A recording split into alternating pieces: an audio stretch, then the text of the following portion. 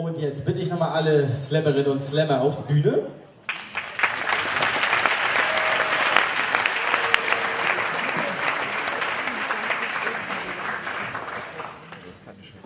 Noch Platz, Diego? Komm. Vielleicht.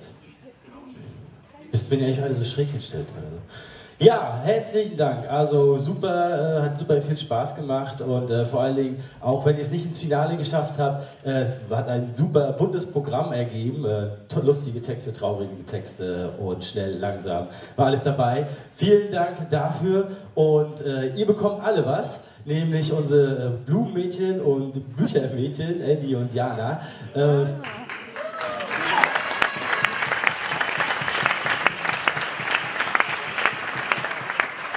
Werden euch jetzt beglücken mit eben Blumen und Büchern. Das ist zum einen von Joachim Ringelnatz. Ich bin so knallvergnügt erwacht. Die besten Gedichte für jeden.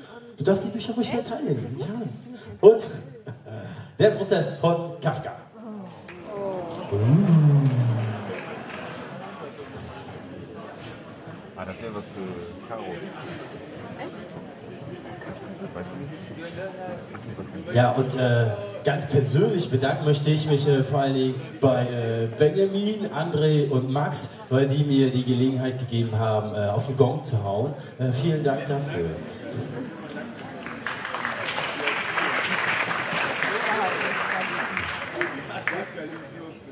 Und wenn ihr eure Blumenbücher habt, dann bitte ich mal die vier Finalisten nach vorne, einen Schritt nach vorne zu treten. Tretet mal vorne. Ich würde euch gerne noch mal.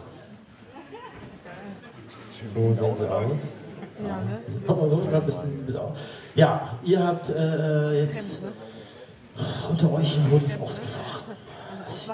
Bielefeld, wer nach Bielefeld fährt zur deutschsprachigen Meisterschaft. André, was Bielefeld? Was weißt du eigentlich schon über Bielefeld? Bielefeld hat 323.000 Einwohner, das ist gespiegelt und daher zu beiden Seiten die 23. Ich habe mich vor kurzem mit Bielefeld beschäftigt.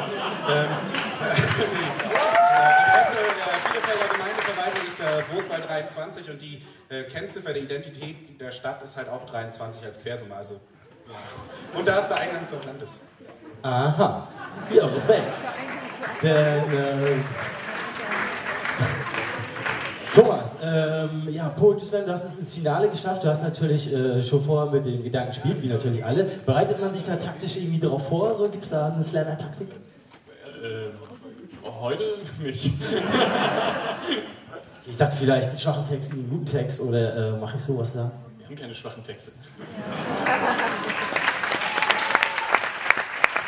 Okay. Und äh, Diego, ja, so als Slammer, wo, wo nimmt man da seine Ideen her? Was sind das alles? Was, wo kommt das her? Ähm, aus Kopf, Herz und Hand. Kopf, Herz und Hand, okay. Und äh, Tim, als Slammer, viele Kurzgeschichten, ich, ich stehe genau vor dir, das ist voll blöd. Also man schreibt ja als Slammer immer viele Kurzgeschichten, man steht unter Zeitdruck, aber ist ja nicht der große Traum, auch mal ein eigenes Buch zu schreiben? Nee. Okay, ja. vielen Dank äh, für die regen Antworten. Ihr habt ja auch wirklich schon äh, genug erzählt heute. Jetzt kommen wir zur großen Entscheidung. Wer das Großmaul gewinnt, wer die erste Mecklenburg-Vorpommern-Landesmeisterschaft Poetry Slam gewinnt, wer nach Bielefeld fährt, wer das Preisgeld einnimmt. Nummer 4, den vierten Platz belegt hat Thomas Linke.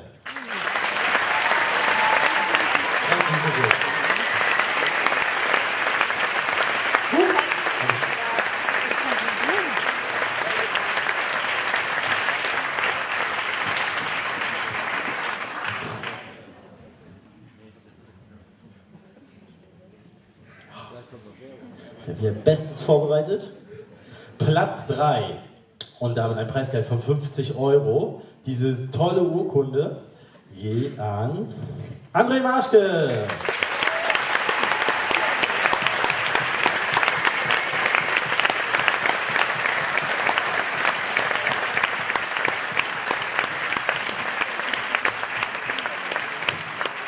Platz 2, eben auch eine tolle Urkunde und Preisgeld von 100 Euro geht an Platz 2 geht an Tim Goller.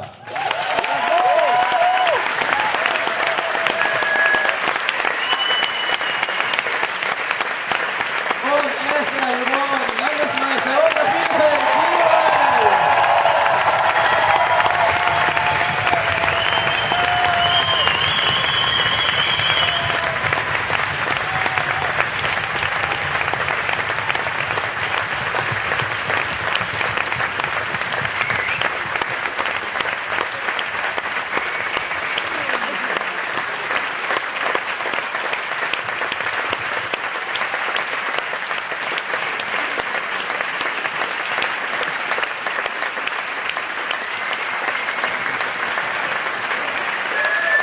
Ja, meine Siegesrede vorbereitet.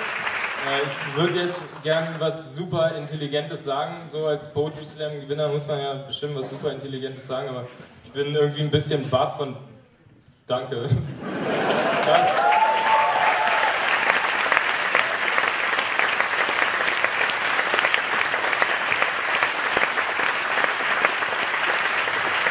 Ich glaube, Diego wird unser schönes Bundesland würdig vertreten in Bielefeld.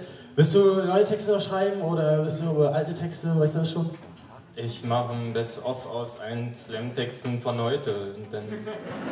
Also, fahrt hin nach Bielefeld, unterstützt Diego. Ich sage auf Wiedersehen. Danke an Theo, danke an Suzanne Collins. Habt noch einen schönen Abend. Auf Wiedersehen.